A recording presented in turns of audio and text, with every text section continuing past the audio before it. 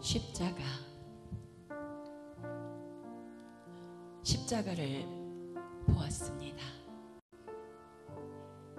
용서가 있고 위안이 있는 곳을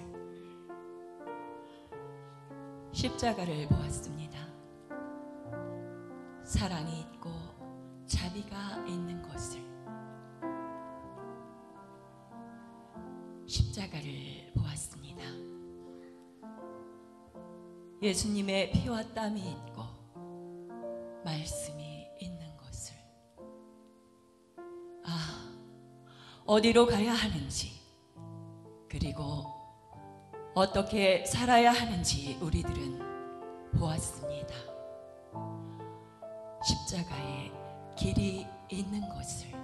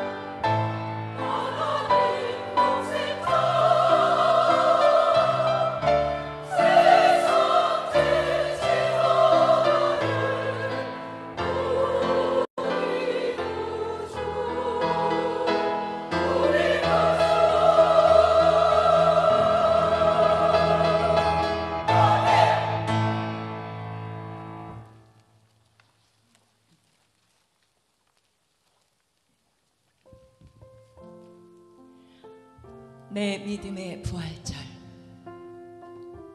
지난 겨울 얼어 죽은 그루터기에도 새싹이 돕습니다. 말라 죽은 가지 끝 굳은 티눈에서도 분홍 꽃잎 눈부시게 피어납니다. 저 하찮은 풀포기도 거듭 살려내지는 하나님. 죽음도 물리쳐 부활의 증거 되신 예수님.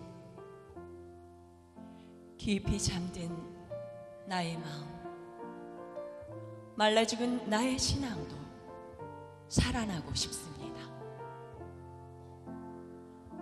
당신이 살아나신 기적의 동굴 앞에 이슬 젖은 풀포기로 부활하고 싶습니다. 그간 믿음의 향기 풍겨내고 싶습니다. 해마다 기적의 증